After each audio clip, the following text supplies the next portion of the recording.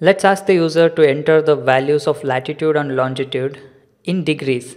So we then convert those degrees into radians and using the formula you can see on your computer screen right now, we convert it into nautical miles.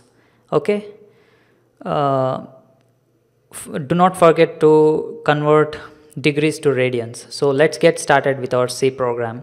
So I'll take four variables lat, lat1, lat2, long, lon1, lon2.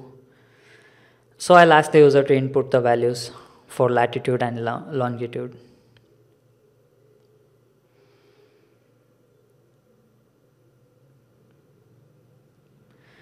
If you know the relational operators and arithmetic operators, you can, especially the arithmetic operators, you can easily convert this from latitude, longitude to nautical miles.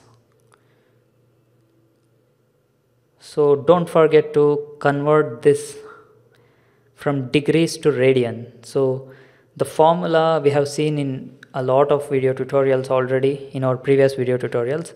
I'll show you once again here.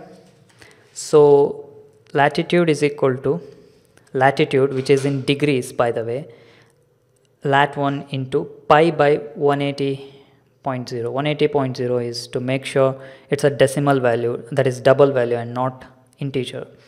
So let me declare value of pi and copy and paste this three more times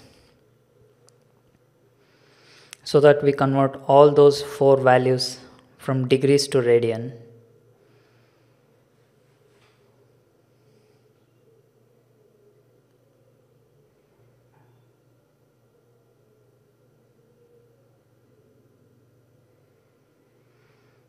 I'm doing it as quickly as possible. Okay I declared the variable d now. Uh, hope you have you remember the formula or you have taken down the formula. Cos inverse. For cos inverse there is a method called acos. So I'm using this in this formula. So everything else is same.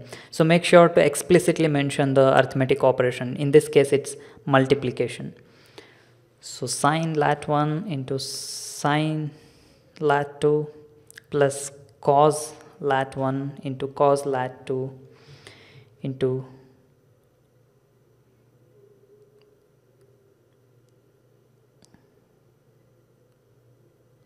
explicitly mention the multiplication symbol cos long 1 minus long 2 so that's it so this is the formula. Now I'll print out the nautical miles, the distance in nautical miles, percentage F and D.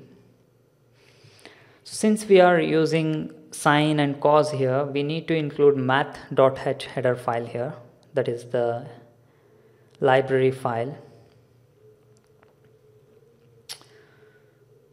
oh we have some error here. So we need to explicitly mention the multiplication symbol here in in C programming language. So let's execute it. So I'll give 52.3 43.2 and 12.3 15.6 so the distance in nautical miles is 647.6 or something like that. So please visit the link present in the description section of this YouTube video for source code, notes and discussion about this topic. Also stay subscribed to our YouTube channel and blog. Please share this video with your friends online and please do not forget to like this video on YouTube. Thank you.